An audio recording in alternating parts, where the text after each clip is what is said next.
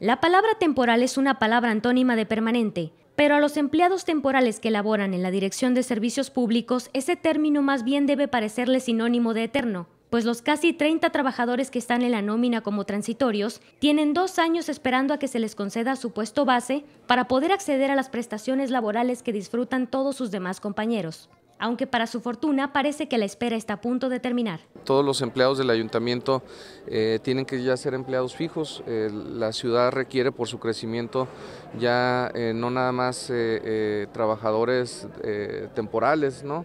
ya, ellos han justificado que efectivamente se requiere crecer la nómina en cuanto a servicios públicos, así como se hizo en seguridad pública, que son dos áreas de servicio a la ciudad que se requiere el crecimiento por las mismas viviendas que se están instalando en Nogales, ¿no? de, cuando entramos nosotros a, ahorita hemos recibido más de 5 mil viviendas.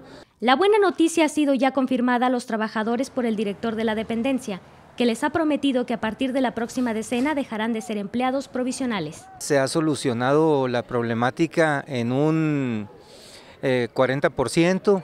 Eh, pues enhorabuena para ellos, el alcalde le hizo la promesa de que ya va a quedar establecida su base. En un principio tenían un contrato pues para trabajar eventualmente, que el programa era con el fin de estimular la economía de esas familias.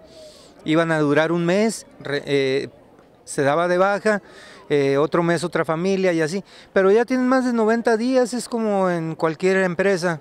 Después de 90 días se les da la planta, y una vez que la incertidumbre se acabe, también la salud de quienes hasta ahora han sido jornaleros de servicio público sin seguridad social se verá beneficiada, como la de esta joven madre de familia que padece un parálisis facial que no se ha podido atender por la falta del reposo que su problema físico requiere. Hay seis personas que sí se las dieron, porque los demás no.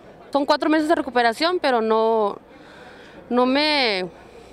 El seguro que tengo, el seguro popular, no me, ¿cómo diré? No me vacó los, no me cubre los cuatro meses me dieron más que un mes y diez días y así me vine a trabajar.